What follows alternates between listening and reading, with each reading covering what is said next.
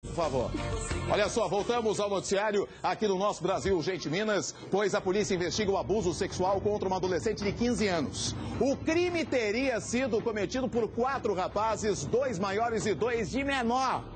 Entre eles, o namorado da menina. As imagens foram gravadas por eles, pelos meninos lá, né, na suruba, aquele prato baiano, e divulgado na internet. Acompanhe, enche a tela.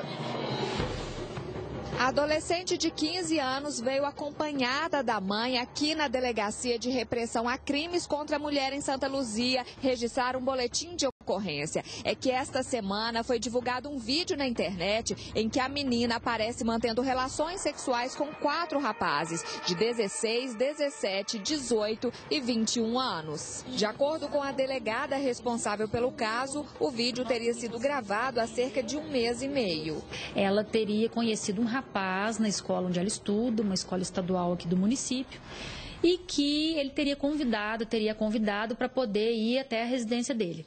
Ela foi de livre e espontânea vontade, chegando no local, ele teria oferecido para ela uma bebida, e ela fala que depois dela ter ingerido essa bebida, que ela não se recorda de mais nada do que aconteceu. Um dos rapazes envolvidos é que teria colocado as imagens em uma comunidade nas redes sociais da escola onde a adolescente estuda. Todos eles já foram identificados. A partir da semana que vem, nós vamos intimá-los para que eles possam prestar suas declarações em cartório. Foi instaurado um inquérito para apurar o caso. Nós estamos trabalhando com a possibilidade da ocorrência de pelo menos três infrações penais. A primeira seria o crime de estupro, a segunda seria a corrupção de menores, porque desses quatro indivíduos, dois seriam maiores e dois menores de idade. E o terceiro crime é aquela infração prevista no artigo 240 do Estatuto da Criança e do Adolescente, que é você filmar né, é, cenas de sexo explícito envolvendo criança e adolescente. Aquele que vende aquela filmagem ou aquelas fotos na internet também é considerado outro tipo de crime, com penas também de 4 a 8 anos. E aquele que simplesmente ele não vende, mas ele distribui, ele posta no, no, numa rede social, ele posta no YouTube aquele vídeo, aquela imagem, também é crime pena de 3 a 6 anos. As penas elas podem ser somadas desses três tipos de crime. Ou seja, quem participou só de um crime vai uma pena. Se participou dos três, as penas podem ser acrescidas um com a dos outros. Olha só, no vídeo a delegada já conseguiu identificar as quatro pessoas envolvidas, mais a menina. Identificou os dois adolescentes e os dois de maior, né? Os dois adultos e os dois de menor. E aí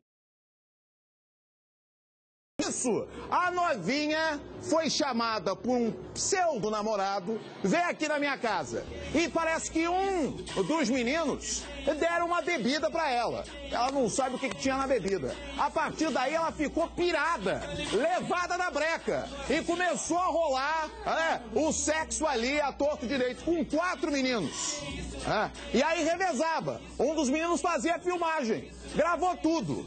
Pelo relato da mãe a mãe relatou para a delegada o seguinte: a menina recebeu um convite de um desses rapazes para sair novamente. Ela não quis sair e aí um deles postou no Face.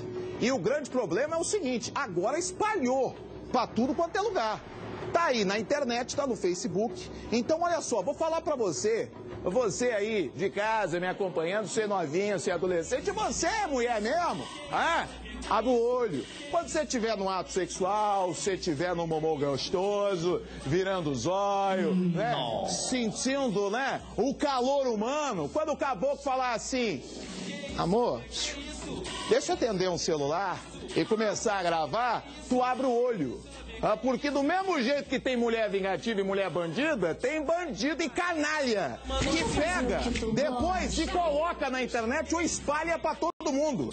E aí acaba com tua vida. É, é o que aconteceu com essa menina. E ela está procurando a delegada agora já para poder é, pegar e encarar isso aí. É, é. Olha só, e, e, nós não exploramos essas imagens, mostramos embaçado, mostra embaçada para ver, mostramos para não explorar essas imagens, porque são as cenas fortes, é sexo explícito mesmo.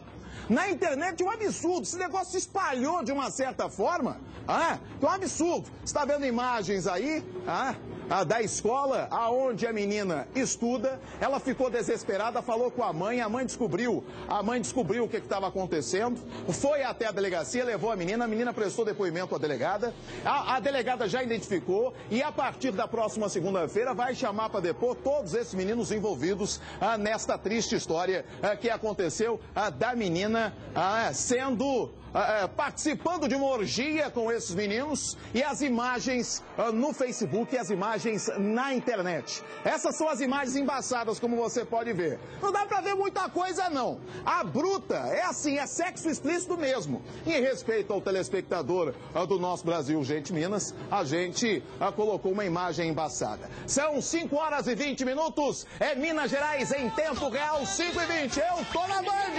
Tô na Band ao seu lado, hein? Olha só vamos para o rápido intervalo e na volta vamos falar a triste história de um menino de apenas três anos que morreu afogado depois de ser esquecido na piscina de uma creche. A creche que não tem alvará, não tem nada, estava funcionando normalmente e essa criança estava na creche. Do nada, esqueceram a portinha aberta, esqueceram a grade aberta, ela entrou e caiu nessa piscina. Daqui a pouquinho os detalhes no nosso telejornal. Eu volto já já, não saia da Band, eu tô na Band!